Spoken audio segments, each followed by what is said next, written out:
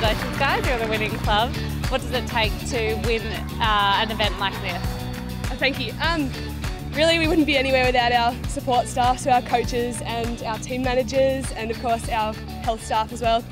And our team's been really great this year. We've got a really good bond with our team, so that's really helped us. And why did you guys get to go up and collect the trophy?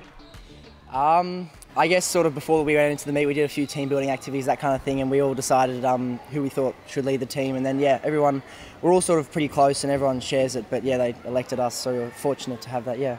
And how did you find your time over the meet as a whole? It's been a really great meet this year. The atmosphere has been amazing, and Swimming Australia's put in such a great effort with the meet this year, so we've had a really great time.